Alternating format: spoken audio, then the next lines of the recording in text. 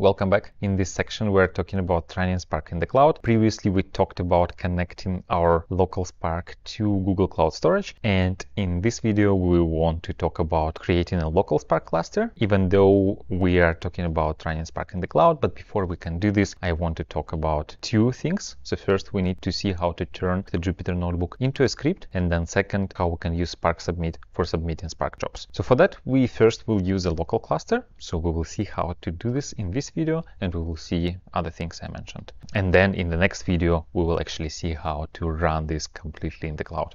So even though I'm running this in a virtual machine, I still consider this as local air quotes environment because this is technically almost the same as you would run this on your laptop.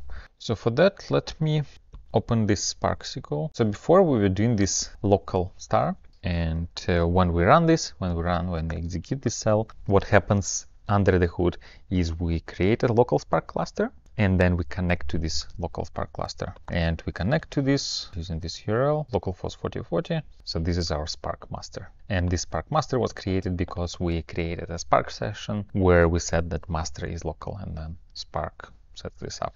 So I will shut down the kernel so now this thing should be gone. I guess it's not shut down immediately. Okay, now it's gone because I we actually had two of them. So yeah, you see, we cannot connect to this because we stopped the notebook, we stopped the kernel that created this. And now I want to create a cluster, a Spark cluster outside of the notebook. For that, I will follow this document. So I just found this in Google when I looked up running Spark in standalone mode. And yeah, we need to, mm, it's as simple as running this thing. So now I will open this in my terminal. I will go to my Spark directory, right? And then Spark. So this is my Spark home, I think. Home. Yeah, so this is where I install Spark. And I just need to go to this directory and execute this thing and then it actually starts Spark Master. So it has started this and now if I attempt to go there, I think we need to run it on port 8080. So let me open another port, so port 8080. Okay, yeah, so I think when we start the Spark Master using this tool, so instead of 4040, it creates it on port 8080. This is the Spark Master and we have some information about the master. And now in our notebook, we instead of using local, we can just say uh, master is local. I think we need to write it like that. Spark, oh, we can see it here, right? So this is the URL.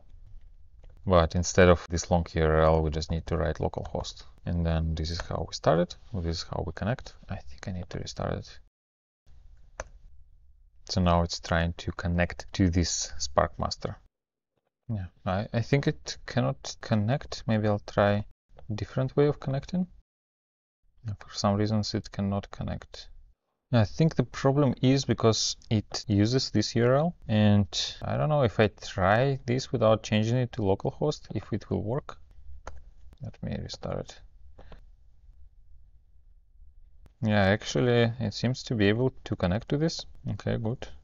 Yeah, I didn't know that uh, this thing actually resolves to the URL. If you don't run this on a virtual machine, maybe you will have a slightly different result, but at least on a virtual machine, this is how you need to do this.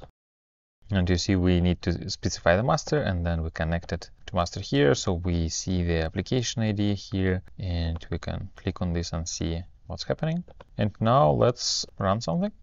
Now it actually goes through the files and sees what are the files are there. Before it can create a data frame, it needs to know what are the files there and how to put all of them together in a data frame. And you see we have this thing. Initial job has not accepted any resources. Check your cluster URL to ensure that workers are registered. So the thing here is we started a cluster, but we have zero workers. We only have a master. We need actually something to take care of executing the thing. So we need a, an executor. And when we go back to this page, it says what we need to do to start the worker. So let me go back here and I will start the worker. I think we need to master Spark URL. Let me try to copy this one. I don't know if this is the right one. Uh, we use a slightly older version of Spark, so it was called instead of worker, it was called slave, so we need to use that instead of worker. And now we were able to connect to this, and if I refresh, we have a worker here, and we have a task, and we see that the state is running. So it was executed because Spark saw that there is an executor and it just used the executor to execute this thing. And I think now we can just um, execute the entire thing here. I want to print these columns because I think this could be useful later when we convert this to a script. So instead of running this code, I just want to explicitly specify what are the common columns. Okay, and then so let me just execute this and see if everything works. Uh, it seems that it works. I will just edit this slightly. So we will register table and we will execute this code. Right? I forgot to run this. Yeah, this works. Well, I didn't execute this thing, so because the next thing I want to do is now I want to turn this notebook into a Python script. For that, I will go to my terminal and I want to turn this thing now into a Python script. So I will do Jupyter nb convert. I think we did this once already. Do script and then we just specify what notebook we want to convert to a script. So we converted it. I can close it now and I will open now this in um, Visual Studio Code and this is the file. Yeah, it looks strange. I don't know why Jupyter Notebook is uh, NB Convert is doing that. I think I was too fast to close it. So let me just copy it like that. And yeah, it somehow loses formatting here. So, and I will move this at the top don't need this and this should look nice this should also look nice now we do union all register a temporary table and execute this SQL query and then we write results back to this location so what I will do now is I will just go to my terminal and execute this. I will just use Python to execute this thing. I forgot to add this. So what it will do now, it will connect to Spark Master that we set up separately, and it will do everything. Right now it is executing this thing here. Yeah, it seems, you see, we still have uh, this thing here, right? So it says initial job has not accepted any resources. I think the problem for that is we probably have two applications. So the first application is our notebook, which took all the resources. So we didn't specify how many executors we need. So it took everything that was available, all four cores. And the thing that we run right now, it cannot get any resources. So we need to remove the first application and now yeah so this thing it's not connected to master so this thing now is being executed. Yeah actually you see it finished and it disconnected. Now if we go to data report we can see that it was created today there are a few things we can improve here. Right now, this thing, we hard code the input data. So we say that you always read from this folder and for yellow, you always read from this folder. But what if we want to run this job just for one month or for a year for 2020, not for the entire history. So we want to make it configurable. And the easiest way to do this configurable is to use uh, CLI, command line interface. This is very similar to what we did previously in uh, week one. So this ingest data script, maybe you remember, we used argparse package. So we will use also this argparse package here to make this script configurable. To make script configurable, we use something like this. So let me paste it here. This is actually optional, we don't need that. So let's see what we have. We have multiple arguments. The first argument would be input green. I'll remove help. Then input yellow, and then output. So we have three arguments and this is our input folder. So input green after parsing it will go to input green right? So this will go here. Then we'll have input yellow. So this will be input yellow. It goes here. And finally we have output. So this will be our output